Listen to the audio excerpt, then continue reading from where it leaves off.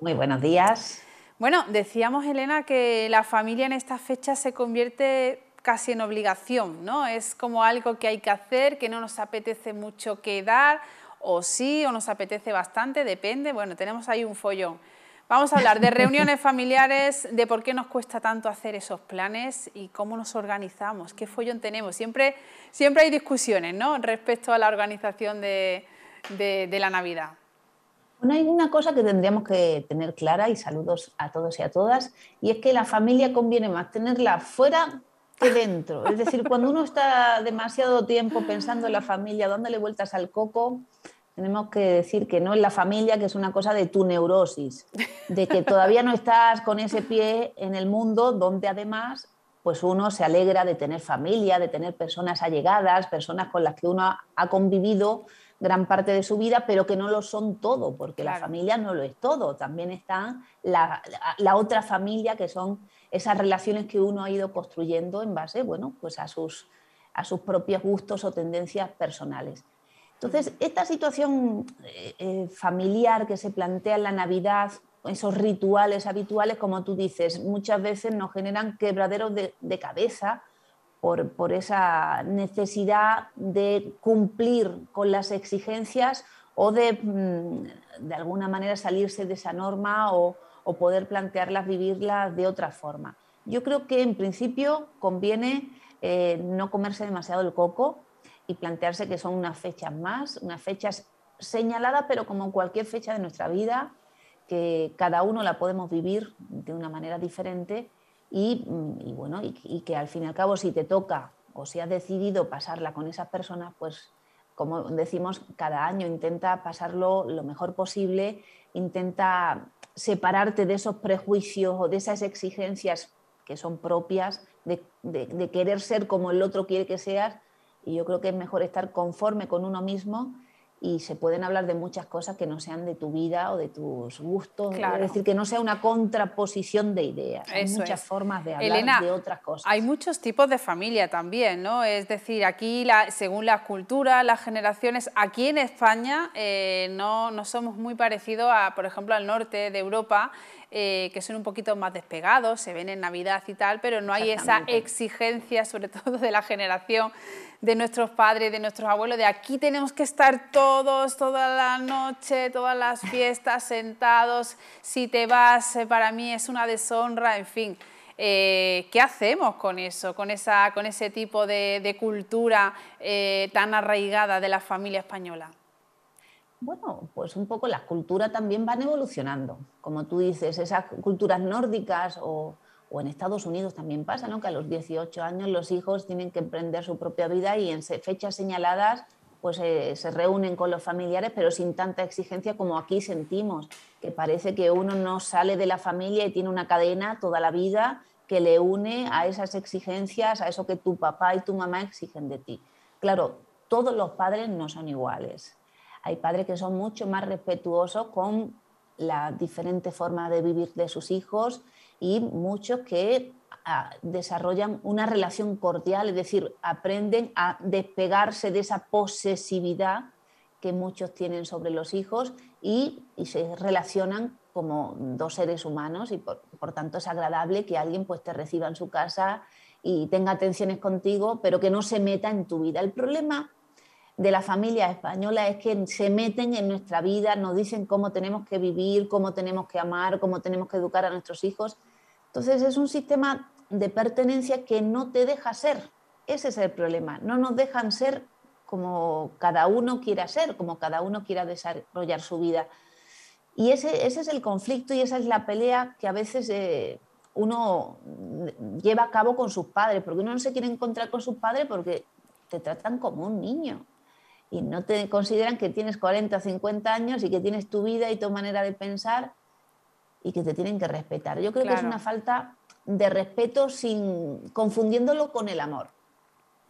Y que tiene mucho que ver con la cuestión de que los padres han sacrificado su propia vida por los hijos y han abandonado su vida, han abandonado sus amistades, han abandonado sus costumbres o sus gustos y proyectan en, los, vida, en los hijos la necesidad de obtener la satisfacción de retorno, ¿no? Yo he dado tanto por ti, ahora quiero que tú me devuelvas esa afectividad que, yo no he encontrado en otro lugar porque la he volcado todo en los hijos. Yo creo que hay un trabajo que las generaciones futuras tenemos que hacer para no encadenar a los hijos a devolvernos lo que como padres le hemos dado. Porque el curso natural de las cosas es que como padres pues ayudamos a los hijos a crecer, a entregarlos al mundo y ahí, ¿no? luego, claro. ahí luego nos alegramos de encontrarnos, pero, pero siendo respetuosos y no metiéndonos en la vida. Pero somos muy cotillas, muy entrometidos, muy criticones. Y eso, bueno, esa, es las disputas. Claro, esa es la herencia de otras generaciones que hemos tenido y vamos, y vamos aprendiendo, ¿no?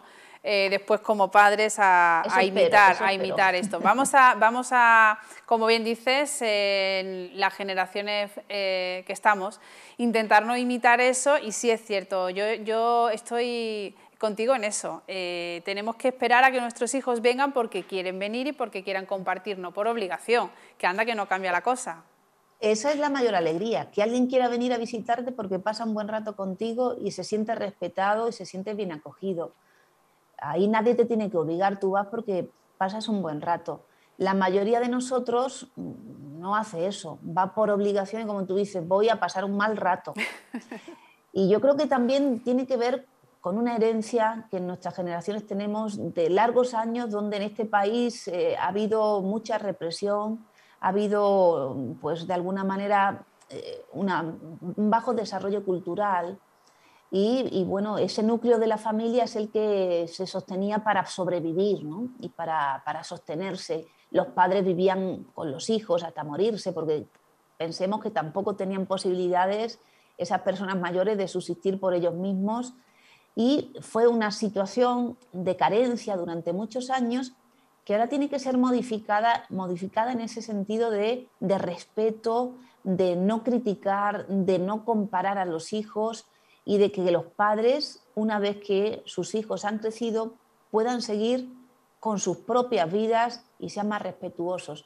Y es una labor que hay que incidir y que atenta con la moral y que muchas veces cuando trabajamos estos aspectos dice qué moral que eres, qué descastado, que no quieres a tus padres. No, querer es otra cosa. Querer a los padres o querer a los hijos es otra cosa. No es imponerles, no es exigirles, no es ser como tú piensas. Hay muchas formas de pensar y de querer y que a veces no tienen que ver con ir en Navidad, puede ser ir en otro, en otro momento determinado o a veces una conversación telefónica tiene más calidad humana que estar ahí cuando tú quisieras estar en otro lugar con otras personas con las que te sientes más comprendido y más aceptado.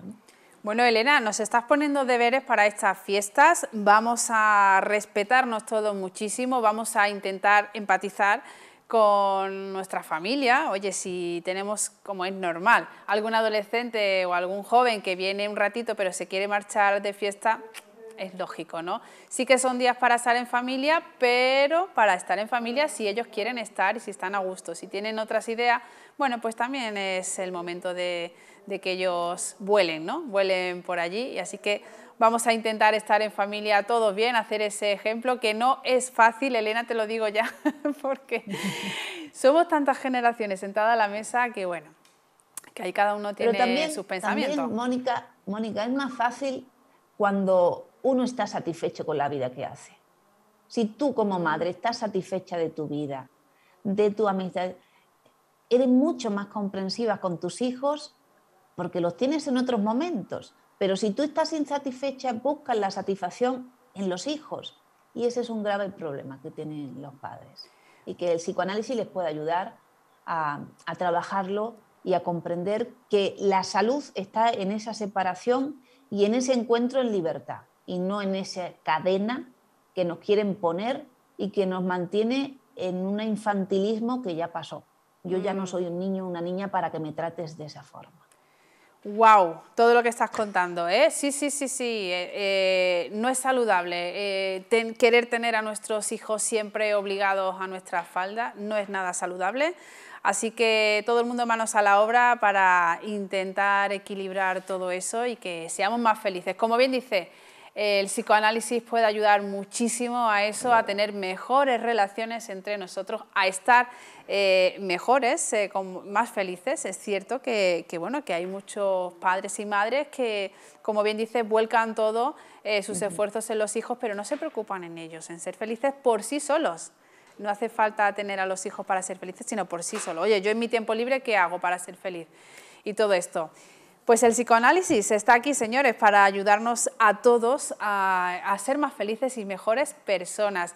Elena Trujillo, desde Grupo Cero, estás ayudando a muchísimas personas y muchas más que vas a tener que ayudar, porque claro, esto es una rueda y la vida da muchas vueltas y todos vamos teniendo esos tropiezos que queremos solucionar, esos nuditos que hay que ir soltando. Bueno, pues ahí tenemos eh, el teléfono que le vamos a ofrecer a nuestra audiencia, Elena, si te parece, para, bueno, si tienen alguna duda, pregunta o, necesitan, bueno, pues de es una forma, el psicoanálisis es una forma que sirve para conocerse y para cambiar otras personas consiguen los mismos resultados por otros medios.